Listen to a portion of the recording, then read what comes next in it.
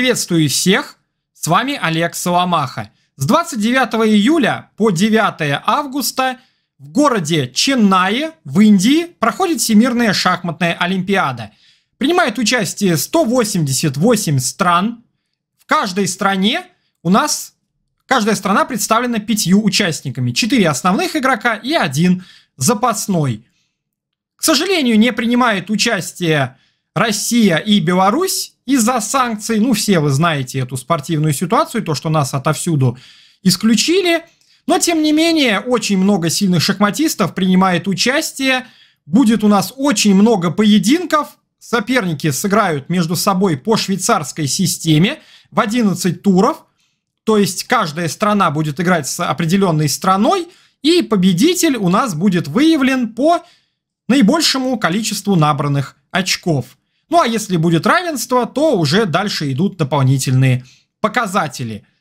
Я буду показывать вам 10 самых интересных поединков. Нормально, хорошо так разберу партии и основные события вы в любом случае а, мы в любом случае захватим и в конце я буду показывать э, турнирную таблицу с положением стран участников. Конечно, все партии никак не получится охватить. Сами представьте, друзья, 188 стран. Это у нас будет более, получается, 200 партий, если не больше, а, ежедневно играться. Понятное дело, что обозреть такой объем просто физически нереально. Поэтому 10 партий, думаю, вполне будет достаточно. Ставим лайк. Это позволит видео продвигаться в рекомендациях. Подписываться на канал не прошу, потому что сейчас э, а, алгоритмы сменились. Если вам понравится то, что вы увидите, если вам понравится то, что я делаю, тогда можете оформить подписку, чтобы следить за дальнейшими моими обзорами. Ну а сейчас давайте приступим к рассмотрению партий. Внимание на экран. Сейчас на ваших экранах вы видите формат турнира Всемирной шахматной олимпиады. 11 туров нас ждет по швейцарской системе. 4 доски, от каждой страны. Временной контроль 90 минут плюс 30 секунд добавления после каждого хода. И также 30 минут добавляется после 40 хода. Игроки не могут соглашаться на ничью до 30 хода. Вот такие правила. В четвертом туре играет команда Франции против команды Индии, основной. Соединенные Штаты Америки против Узбекистана. Команда Индии номер 3 против Испании. Команда Польши против Румынии. Команда Турции против Азербайджана. Команда Израиля против Нидерландов. Команда Сербии против Англии. Команда Индии под номером 2 против Италии. Команда Армении против Австрии и команда Канады против Ирана. Начинаем, как обычно, мы с вами с партии «Курьез дня», то есть партия, которая закончилась быстрее всех и в которой случилась дебютная катастрофа. В этот раз, друзья, все гораздо интереснее. Это произошло в матче Болгария против Греции. Белыми играл Александр Ташев, черными играл Евгениос Ионидис. Рейтинг белых 2262, рейтинг черных 2459. И давайте посмотрим теперь целиком эту партию – После d4 конь f6, c4 e6, g3 c5, конь f3 cd, разыграно каталонское начало, конь бьет d4 d5, слон g2 e5, конь f3 d4, рокировка конь c6, белые играют e3, пытаются подорвать пешечный центр черных, черные отвечают слон g4, связывая коня, белые развязываются ходом ферзь b3 и попутно нападая на пешку.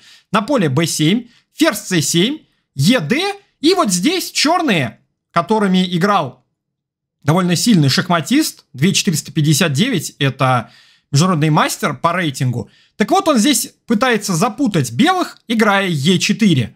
Хочет он прогнать коня, чтобы забрать пешку на поле D4 и пытается поймать белых в ловушку. И белые в эту самую красивую ловушку как раз таки и попадаются. Здесь вместо хода Е4 к нормальной ровной игре приводил ход слон бьет f3. После ферзь бьет f3, конь бьет d4, ферзь d1, ферзь бьет c4, ладья e1, белые, как мы видим, давят, слон d6, тогда конь d2, ферзь c7, ферзь a4, шах, после конь c6, конь c4, Белые сейчас, как мы видим, пожертвовали пешку, но черным крайне сложно закончить развитие. Если, например, они играют рокировка, то тогда просто слон Е3, наводя Е8, наводя С1, и белые поддавливают, и за счет инициативы здесь у них полная компенсация за пожертвованную пешку. Так или иначе, где-то белые будут надвигать пешки А3, Б4, затем будет грозить Б5, и у белых богатая игра. Итак, после ЕД, Е4, конь Е5 играют белые и попадаются в ловушку. Конь Е5 это очень серьезная ошибка. Слон F4 приводила белых практически выигранной позиции, как это ни странно. То есть включение именно хода слона F4 позволяет белым рассчитывать сразу же на большой перевес. Как ходить? Если ферзь d7, то тогда конь e5. И это уже с решающим эффектом идет. Потому что конь нападает на ферзя. На конь e5 играем de. И после конь h5, слон e3. Позиция абсолютно безнадежная. У черных со стратегической точки зрения слабая пешка на e4, на b7. И черные полностью не развиты. После слон e7, слон бьет e4. Рокировка ферзь бьет b7. У белых уже решающий материальный перевес. Три лишних пешки. После слона f4, если сыграть слон d6, то тогда слон d6, ферзь d6 и конь e5. Снова все те же самые идеи. После конь e5, de, ферзь бьет e5. Белые могут не забирать пешку на поле b7, что, конечно, также дает хорошие возможности, но в этом случае черные закончат развитие.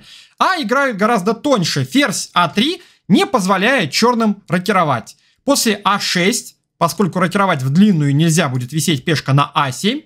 А6, вводя Е1. Рокировка С5, очень важный ход, угрожает С6. Король Б8, конь С3, также у белых довольно серьезный перевес.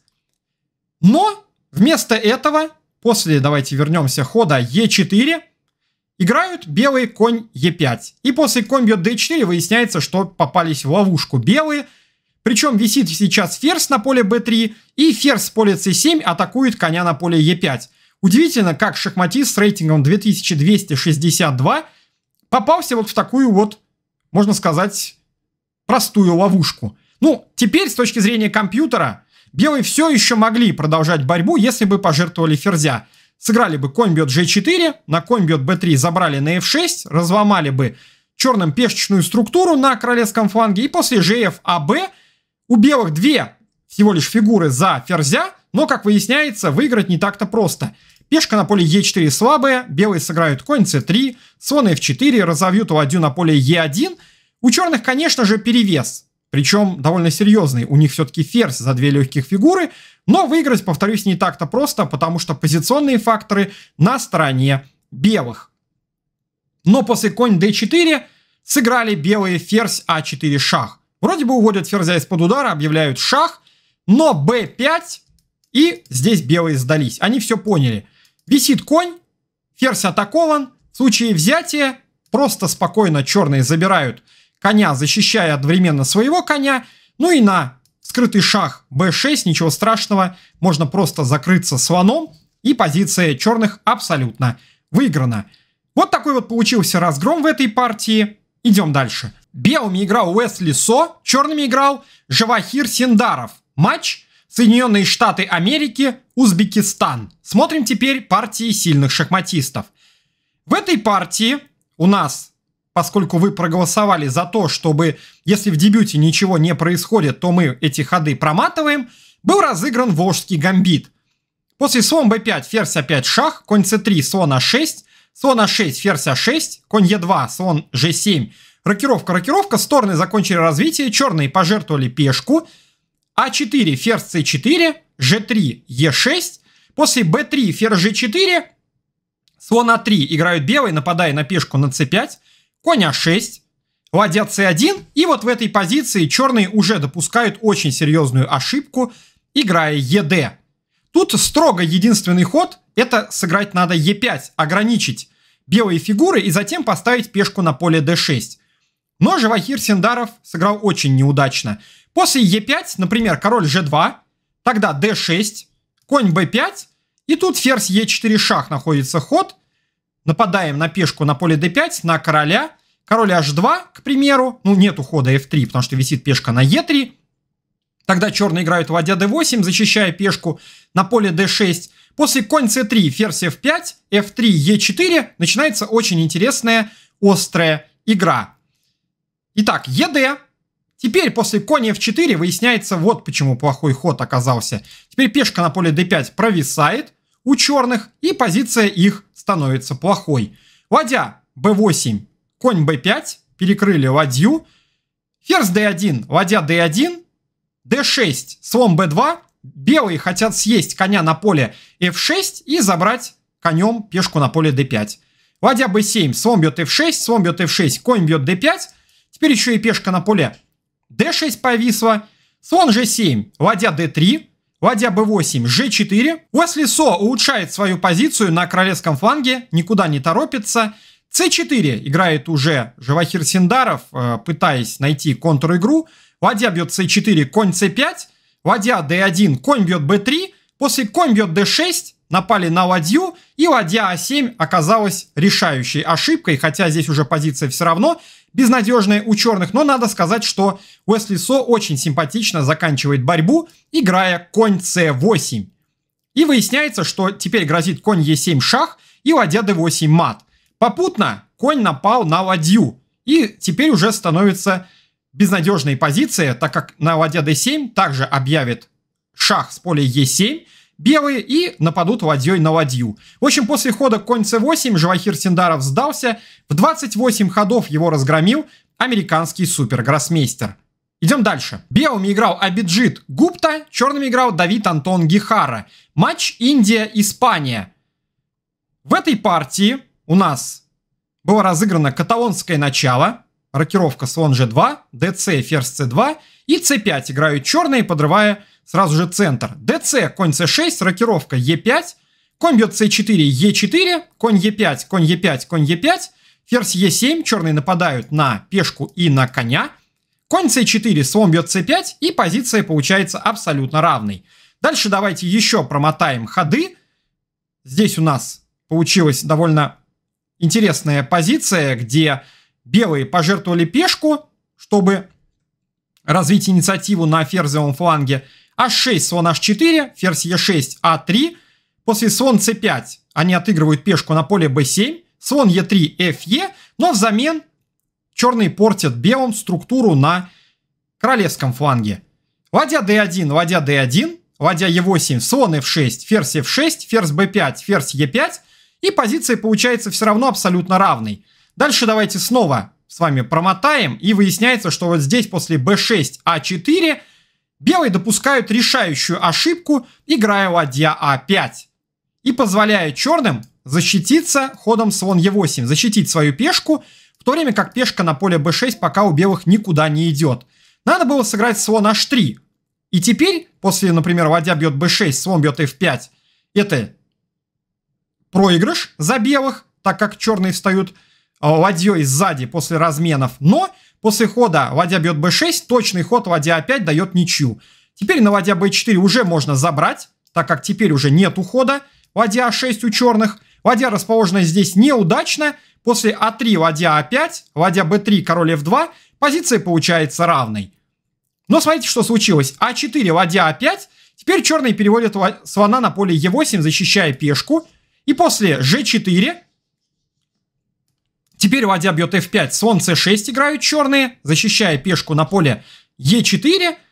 И дальше забирают пешку на поле b6, снова получая практически ту же позицию, которую мы сейчас с вами увидим в партии. Итак, слон e8, g4, ладья бьет b6, gf и слон c6 играют черные. Теперь у них остается в живых опаснейшая пешка а, и она решает исход партии. Король f2, ладья b5, ладья бьет b5, последняя финальная ошибка. Можно еще было барахтаться вместе с ладьями. Ладья А6, ладья бьет F5 шах, король Е1, ладья С5. Ну и здесь примерное развитие событий вам показываю. Белые играют ладья А7, вырезая короля, не давая ему подтянуться к игре. Ну и после ладья H5, H3, ладья G5 потихонечку, постепенно черные так или иначе все равно должны добиться победы, раскачать эту позицию белых. Но белые здесь могли еще очень долго обороняться. А теперь смотрите, что случилось. После хода ладья b5, ладья бьет b5, слон бьет b5, выясняется, что слоновое окончание безнадежное, несмотря на то, что у белых даже здесь образовалась лишняя пешка, все, вся проблема в том, что пешку А невозможно остановить. Слон b1, король f7, король f3, король f6, пешка висит. Король f4, ну, если играть e4, то просто а3, и сразу же черные побеждают. Король f4, белые делают ставки, пытаются создать свою проходную, но слон бьет e2, слон c2, а3, слон b3 и просто слон d3 играют черные. Две угрозы есть, слон b1 и а2, и висит пешка на поле f5. Позиция безнадежная все равно остается у белых, и здесь Абиджит Гупта признал свое поражение. Команда Испании выходит вперед. Идем дальше. Белыми играл Вахаб Санал, черными играл Гадир Гусейнов. Матч Турция-Азербайджан. В этой партии у нас была разыграна славянская защита. Дебют проматываем, особо ничего интересного тут не было. После g4, a6, слон c6, ферзь c6, h4, белый накатывают пешки, черный ставит блок ходом h5, g5, конь d7, король f2, ферзь b6, предлагая размен ферзей, ладья c1, ферзь b3, ab, рокировка слон g3, и вот здесь белые хотят сыграть конь f4, поменять коня на слона и получить небольшое преимущество, поскольку слон с поля g6 здорово осложняет жизнь белым, не позволяя им здесь как-то перегруппировываться. И вот тут черные не разгадали этот маневр, сыграли ладья c8. Намного точнее было сыграть слон f5 и на коне f4 g6, защищая надежно пешку на поле h5. Здесь у белых, конечно, есть крайне интересная разменная комбинация. Конь бьет d5, очень интересная. На ед конь d5 Теперь висит слон, нет ухода ладья e8 из-за конь c7 вилка. Слона надо убирать, но тогда слон d6, белые получают доминацию, ладья e8, конь c7, слон c7, ладья c7, и тут черные единственными ходами держатся. Ладья c8, ладья c1, конь b6, e4, слон e6, d5, белые вот так вот набрасывают пешки, несмотря на то, что у них не хватает фигуры, доминация тотальная – но все-таки всего этого не хватает для победы. Слон f4, ладья c7, ладья c7 и слон c8. Черные держатся, блокада у них надежная, и позиция здесь должна закончиться в ничью. На слон e3 есть даже ход конь а8, прогоняя ладью. Итак, ладья c8, конь f4, и тут король h7 еще одну ошибку допускает азербайджанский гроссмейстер. Ну, здесь уже было сложно на самом деле догадаться, что надо жертвовать пешку. Сохраните обязательно этого слона. После слона f5 конь бьет h5, ладья c6, конь f4, ладья c8. Черные взамен сдваиваются по вертикали c и позиция получается равной.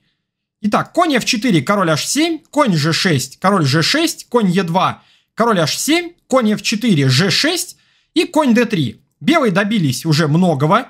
Они контролируют черные поля. После король g8, b4, конь b6, конь c5. Белые вторгаются, висит пешка на поле b7, которую защитить не очень-то и удобно, так как, а как ходить? Ладья b8 нет ухода, слон контролирует, и хода ладья c7 нет. И тут уже совершенно растерялся Гадир Гусейнов, сыграл слон бьет c5, а это привело к абсолютно безнадежной позиции.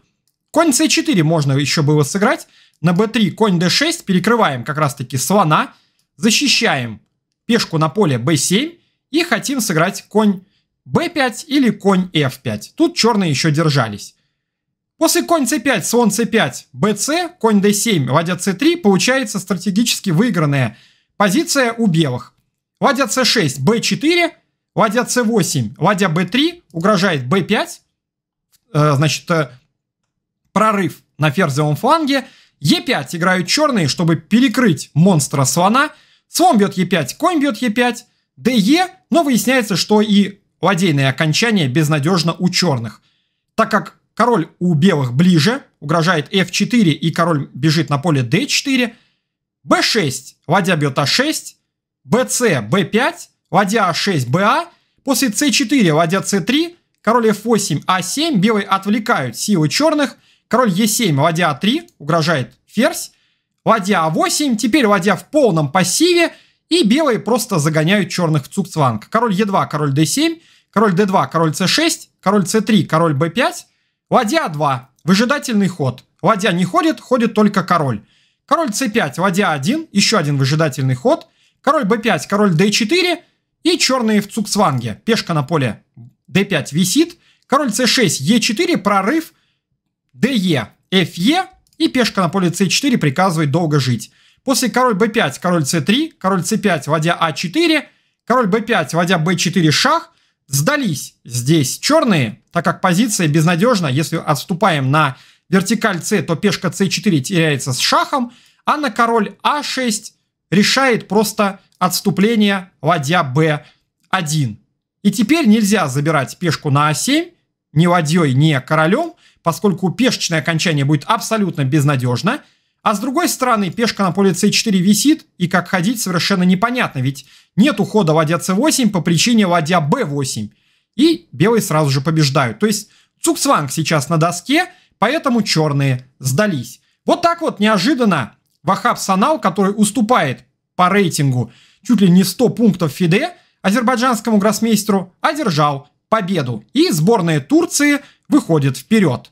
Идем дальше. Белыми играл Александр Индич, черными играл Майкл Адамс. Матч Сербия-Англия. В этой партии у нас был разыгран ферзевый гамбит, разменный вариант. Карлсбадская пешечная структура после слон g3, слон d6, конь f3, слон g3, hg произошел размен чернопольных слонов – Конь d7, ладья h4, ладья e8, ферзь c2 и c5 играют черные, пытаясь зацепиться за центр. Слон f5, cd, ладья d4, конь f8. И вот в этой позиции, где у белых в принципе отличная игра, они ошибаются, играя g4. Непонятно, хотели, видимо, избавиться от слабой пешки ходом g5, но ход неудачный. Надо было играть ладья d1, поддавливать на пешку – Черный вынужден играть слон Е6, и теперь можно, например, просто сыграть А3 с идеей поддавить еще и на ферзевом фланге путем b4, конь а4, конь c5. Итак, g4, g6, прогнали слона, слон c8, ладья c8, теперь пешка на поле g4 находится в подвисшем состоянии, g5, hg, конь g5, и ладья e5 играют черные, нападая на коня. Конь f3, ладья h5, ладья у черных сразу же входит в игру, угрожает шах, рокировка длинная и конь Е6. И, как мы видим, позиция черных становится отличная.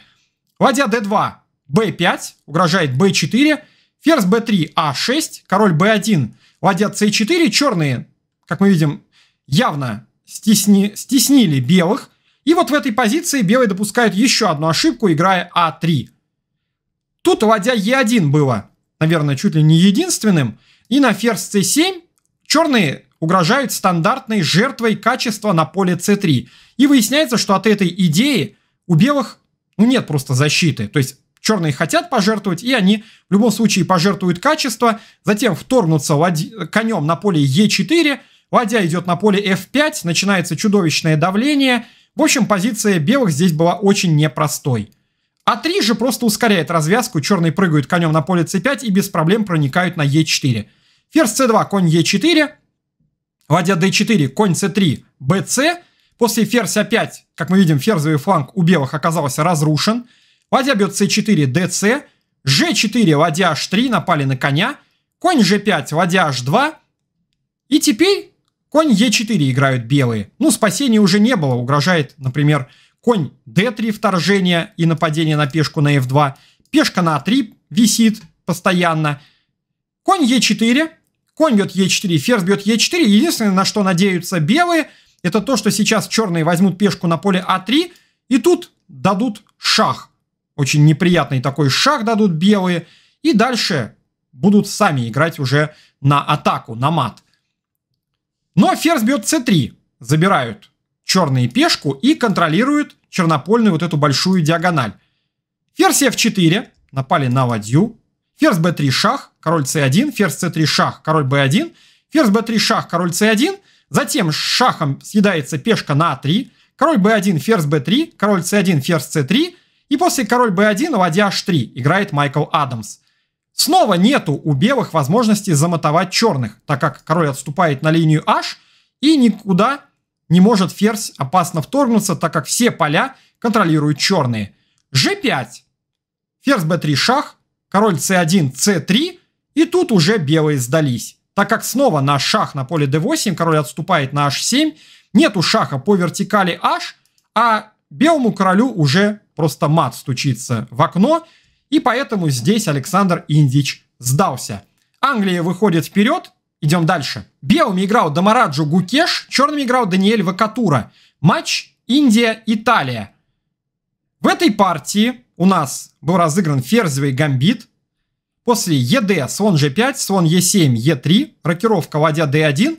Черные получают структуру, как мы видим, с изолированной пешкой на поле D5. Слон Е6, ферзь А4, H6, слон F6, слон F6 и конь D5. Белые съедают эту пешку, после слон d5, ферзь b5 связывают слона, слон бьет b2, ладья бьет d5, слон c3 шах, король d1, и получается очень интересная острая игра. После ферзь e7, слон c4, король у белых остался в центре, конь а6, король e2, ладья c8, ферзь b3, конь b4. Играют черные, нападая на ладью на поле d5. Ладья f5, слон f6, ладья b5 напали на коня и на пешку на поле b7, а5, и после ладья бьет опять вот в этой очень сложной позиции Даниэль Вакатура допускает ошибку, играя конь c6, нападая на ладью на поле а5. Здесь надо было найти просто тонкий ход ладья c7, чтобы дополнительно защитить пешку на поле b7. Итак, конь c6, ладья b5, b6, слон d5, и вот в этой позиции Даниэль Вакатура допускает уже проигрывающий ход, играя конь а7, просто отдавая еще одну пешку на поле b6. Конь опять надо было играть за черных, нападать на ферзя. На ферзь b1, конь c4. Черные вот таким вот образом крутятся, защищают пешку. Слон c4, ладья c4. А в этой ситуации, когда белые забирают пешку на поле b6, остаются с двумя лишними пешками. Но после ферзь c7 у черных доминация угрожает ладья c2 шах.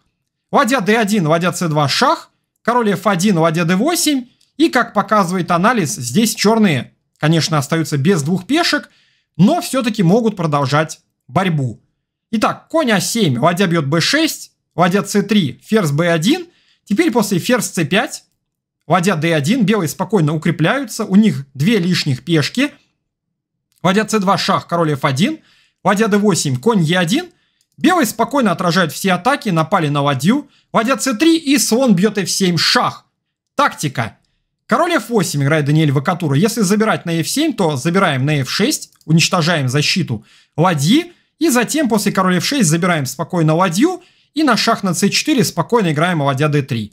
Дальнейшие размены неизбежны. И белые так или иначе, но остаются уже с тремя лишними пешками. Итак, слон бьет f7, король f8. Слон h5, конь c6. Ладья бьет d8, слон бьет d8 и ферзь g6. Белый переходит в решающую атаку. Ферзь c4 шах, король g1, король спрятался. У белых ему ничего не угрожает. Чего нельзя сказать о черном визави.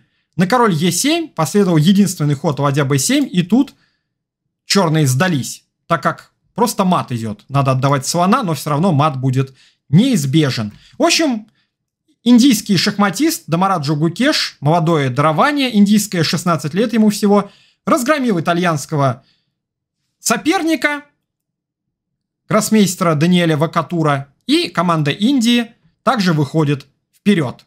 Идем дальше. Белыми играл Йоргус Печак, черными играл Антон Коробов. Матч Словакия-Украина. В этой партии у нас была разыграна защита Немцовича, система Рубинштейна. Дебют давайте мы пропустим, поскольку здесь позиция получается просто примерно равной. Белые построили структуру, которая называется кольцо Пильсбери. То есть вот эти три пешки вместе с конем образуют кольцо. И эта позиция считается очень перспективной для белых, так как сулит им возможности атаки. Посмотрите, все их фигуры уже нацелены на королевский фланг. Ладья f1, ферзь Е7, слон Е1, конь Е4, после конь Е4, ДЕ, Б4 находит очень сильное продолжение Йоргус Печак. Теперь что делать? Нельзя забирать на Б4, так как после слон бьет Б4 мы нападаем на ферзя, и без защиты остается конь на поле d7. И белые побеждают, так как остаются с лишней фигурой. После b4 конь бьет e5, играет Антон Коробов, но белые забирают пешку на a5, и тут Антон ошибается, играя конь c6. Надо было играть конь d7, защищая просто пешку на поле b6. После ладья b1, b5, АБ, АБ, ладья b5, слон а6, ладья b1, c3. У черных полноправная контр-игра. Напали на ладью, на ладья f2, просто играем конь f6, черные контролируют центр, конь идет на поле d5, позиция вполне игровая, несмотря на то, что черные сейчас остались без пешки. Итак, БА, конь c6. Почему это ошибка? А потому что белые просто съели пешку на b6. А5, d5. И конь b4 еще одну ошибку допускает украинский гроссмейстер. Тут надо было играть ладья d8, связывая пешку на поле d5 и не позволяя белым съесть коня. На ферзь e2 забираем пешку на d5, белые съедают на c4, после ладья c5 ферзь a2, ладья b8, ладья b1, слон а6, черные начинают постепенно окучивать пешку проходную, и после ладья f2, слон d3 позиция очень сложная, как показывает анализ, она все равно продолжает оставаться в пользу белых, но черные все-таки здесь играют, и белые где-то могут и ошибиться. Но Антон после хода d5 играет конь b4 чересчур мягко, и зевает еще и тычок d6. Напали на ферзя. После ферзь d7 забирает на поле b4 Йоргус Пичак коня.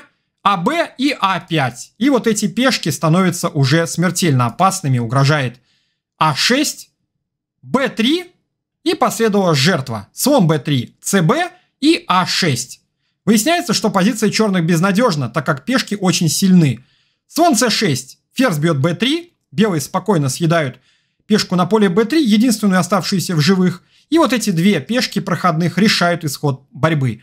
Ферзь d6, ладья c1, никуда не торопятся белые. Ладья d8, b7, ферзь g6, ну и последовала решающая комбинация. Ладья бьет c6, красиво добивает Йоргус Пичак Антона Коробова. После ферзь бьет c6 у белых не хватает ладьи, но после а7 пешки неизбежно превращаются ферзя. И тут Антон Коробов признал свое поражение. После ладья d3 ферзь b4. Ну, делать нечего, пешки проходят. Поэтому здесь украинский гроссмейстер сдался. Словакия выходит вперед, а мы с вами идем дальше. Белыми играл Магнус Карлсон, черными играл Дамбасурен Бацурен. Матч Норвегия-Монголия.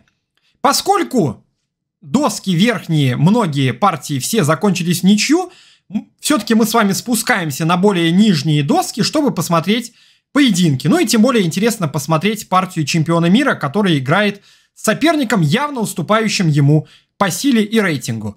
В партии у нас был разыгран ферзевый гамбит.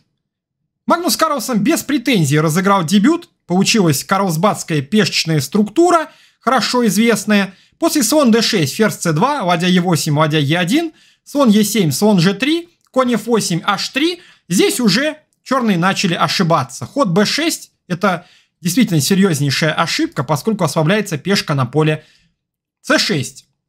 Но черные, естественно, хотели провести освобождающее продвижение c5. Надо было играть слон e6 все-таки. Итак, b6, e4. Магнус Карлсон сразу же прорывается по центру. de, конь e4, слон b7 и конь e5. Белые уже захватывают инициативу. Нельзя забирать пешку на поле d4.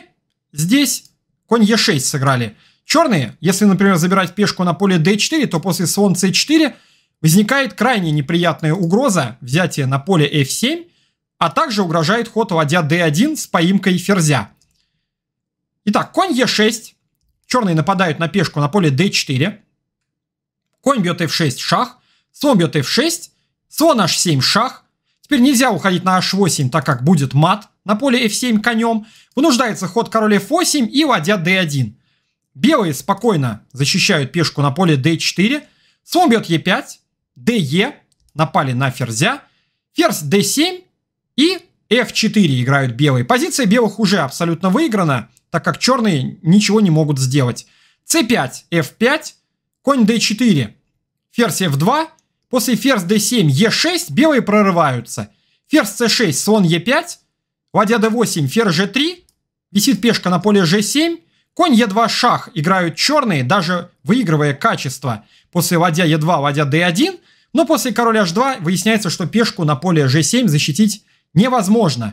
Это разгром. На f6 следует взятие на f6. ЖФ Е7 шах и задачный мат ферзь G8. Итак, король H2, король Е7, пускается король черных во все тяжкие, но Магнус Карлсон четко добивает своего соперника, играя слон F6 шах, жертвуя слона, и все, здесь черные сдались. Поскольку все варианты абсолютно безнадежны. Если берем королем, то шах, король Е7, забираем с шахом и нападаем на ладью, ну и после король бьет F7, слон G6, шах, ну, партия просто заканчивается, поскольку мат следует. Дальше забираем на E8 и объявляем мат. То есть король F8, ферзь E8, ферзь E8, ладья E8, мат. Если после слон F6 шах не забирать королем, а забирать пешкой, то тогда следует также вскрытый шах. Опять же, если король уходит, то просто съедаем ладью, превращаясь в ферзя. Абсолютно выиграно. Ну а на король бьет F7, опять же решает шах на g6 и мат на g8. Так или иначе, после слона f6 шах в 30 ходов Магнус Карлсон разгромил своего соперника, и команда Норвегии выходит вперед. Идем дальше. Белыми играл Ясер Перец Кезада, черными играл Виктор Эрдос. Матч Куба Венгрия. В партии у нас был разыгран дебют.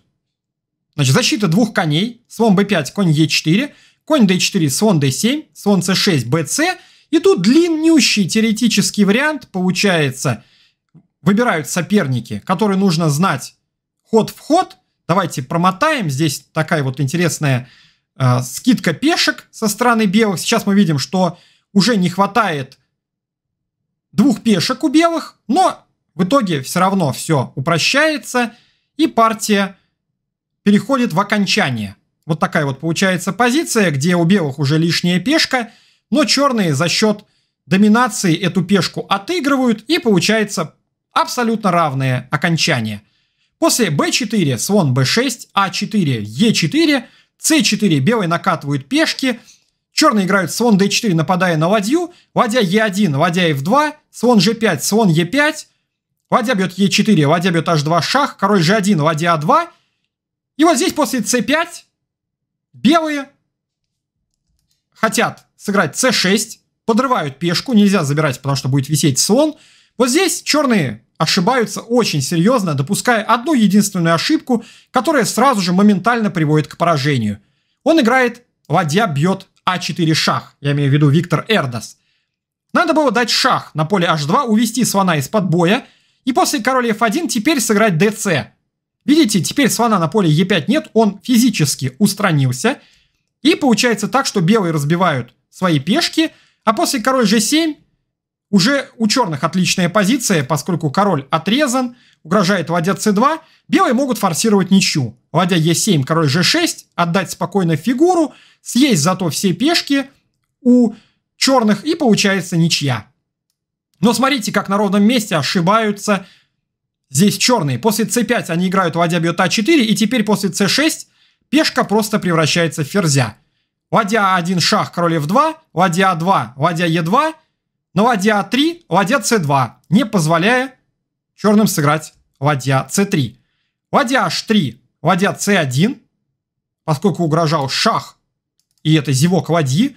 Ладья c1, d5, слон f6 шах, решающее красивое комбинационное отвлечение. То есть черные хотели пожертвовать уже слона за пешку, но слон f6 это очень красиво. После слона f6, c7 выясняется, что пешка проходит. Слон h4 шах, король e2, ладья h2, король f3, ладья f2, король g4, и тут черные сдались. Так как если пытаться остановить пешку единственным ходом ладья f8, то спокойно превращаются в ферзя белые, и затем уже остаются просто с лишней ладьей. Вот так вот в длиннющем форсированном ничейном варианте в защите двух коней – Черные фактически сделали, наверное, один единственный ход от себя, который, по иронии судьбы, оказался моментально проигрывающим партию. Вот такие вот они, форсированные варианты. Идем дальше. Белыми играл Самвел Тер Сахатян, черными играл Феликс Бобенгерг. Матч Армения-Австрия. В партии у нас был разыгран, была разыграна защита Каракан, закрытый вариант – Ничего интересного в дебюте не было. Опять же, проматываем и доходим до критической позиции. В итоге на выходе из дебюта позиция получается равная. После конь f3, конь b8, b4, конь c6, ладья c1, конь e7, маневры продолжаются. Ферзь d3, рокировка, конь d2, ладья c7, конь b3, ладья c8, черные начинают давить на пешку на поле c3, ферзь d2, ладья c4, конь d4, конь c6, конь f3, ферзь c7, слон f4, конь e7, и вот в этой позиции ошибаются белые, играя слон g5. Слон e3 был интересный тонкий ход с угрозой слон b6.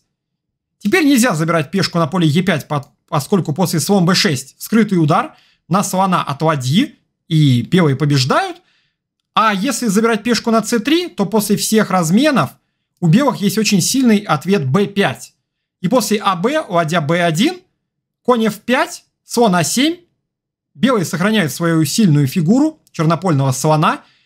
И теперь после ладья c7 ладья бьет b5, у черных лишняя пешка, но позиция близка к равной, так как активности белых фигур будет достаточно для поддержания равновесия. Итак, слон g5, конь f5, ферзь a2, еще одна ошибка. Конь d4 надо было играть, срочно пытаться упростить положение и не пускать ладью на поле g4. Итак, ферзь a2, слон f8, угрожает взятие на b4, слон d2, слон e7, ферзь b1, ладья g4, конь h2, ладья c4 играют здесь, э, черные. Ну, конечно, пешку на поле h4 где-то можно было забирать, но позиция после этого получалась неясная. Хотя сейчас мы с вами увидим, что на самом деле конь h4 тоже было хорошо. Ладья c4, конь f3, ферзь d7, ладья d1, ферзь b5, ладья c1, король g7, ферзь a1, ладья g4. Черные возвращаются к этой идее, но теперь попутно угрожает еще и вторжение ферзя на поле d3. Конь h2, и вот теперь конь бьет h4 с решающим эффектом играют черные. Король h1, ферзь d3, ладья d1, ферзь f5. После gh, ферзь бьет f2, выясняется, что черные громят белых. Как ходить? Грозит мат. Если закрываться ладья g1, то меняемся и в конце теряется слон на поле d2. А если забирать на поле g4, то после hg непонятно, как защищаться от угрозы ладья h8 и ладья бьет h4 с матом. То есть позиция уже становится после этого совершенно безнадежная у белых. И вот так вот после хода ферзь f5, gh, ферзь бьет f2 на 46-м ходу белые признали свое поражение. Команда Австрии выходит вперед. Ну а мы с вами посмотрели, друзья, все 10 интересных поединков. Поэтому мне не остается ничего иного, как вместе с вами сейчас посмотреть, как закончились все остальные партии всех стран-участников. И также в конце мы с вами посмотрим уже турнирное положение. Посмотрим, кто у нас идет на каком месте, из каких команд. Внимание на экран.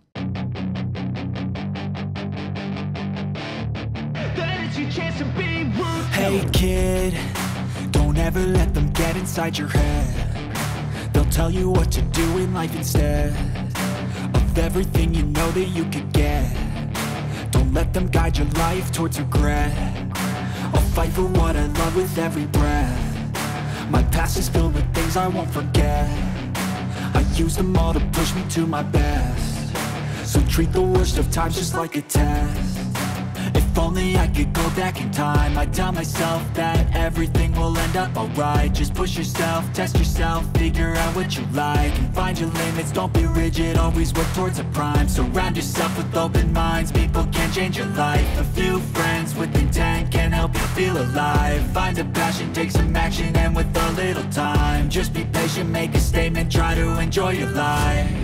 They'll try to kick you while you're down they wanna rise up while you drown. They wanna fill your head with doubt. They're silently scared that you'll figure it out. I'll make it look like I'm losing. Won't bother hiding my bruises. And when they finally think you're wounded Then it's your chance to be ruthless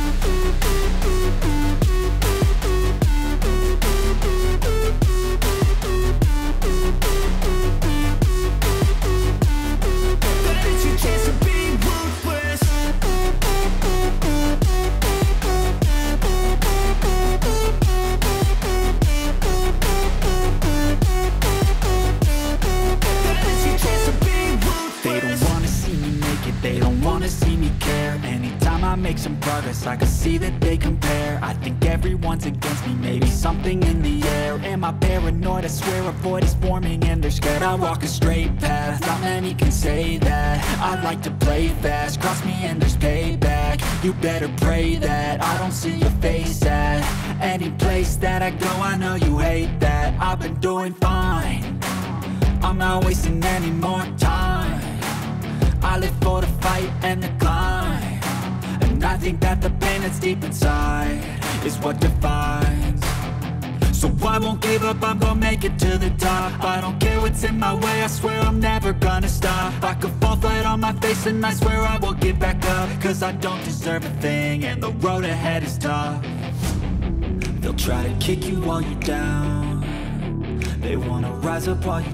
Турнирное положение на Всемирной шахматной Олимпиаде сейчас вы видите на ваших экранах.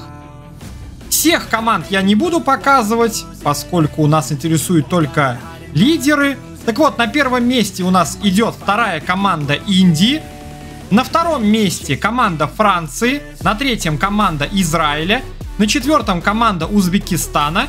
На пятом Турция. На шестом команда Индии. Основной состав. На седьмом Испания, на восьмом Нидерланды, на девятом Италия, на десятом Канада, на одиннадцатом Азербайджан, на двенадцатом Румыния, на тринадцатом Сербия, на четырнадцатом Польша, на пятнадцатом Англия, на шестнадцатом Армения, на семнадцатом Иран, на восемнадцатом команда Индии номер три, на девятнадцатом Австрия, и на 20 месте команда Соединенных Штатов Америки. Команда Украины на 23 месте. Ну и остальных давайте уж быстренько вот так вот в качестве